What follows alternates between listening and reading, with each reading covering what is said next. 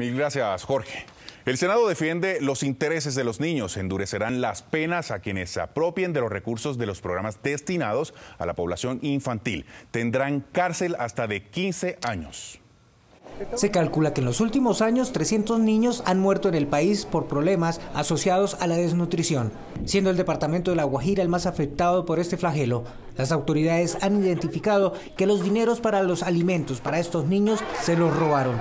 Por eso, un proyecto de ley busca endurecer las penas para quienes cometan este delito. Este proyecto busca incrementar de 6 a 9 años eh, la pena a, de, 6, de 6 a 9 y el máximo de 15 a 22 años de prisión. El incremento de niños que han fallecido ha sido muy grande, entonces todo aquello que tenga que ver con seguridad alimentaria lo vamos a castigar incrementando las penas.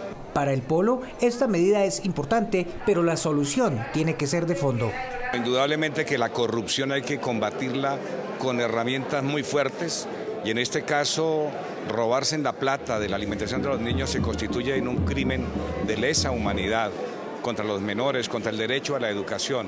Por supuesto que apoyemos, apoyamos este tipo de iniciativas. Esta es una de las pocas iniciativas presentadas en este sentido y ya inició el trámite legal para comenzar los debates legislativos y ser ley de la República.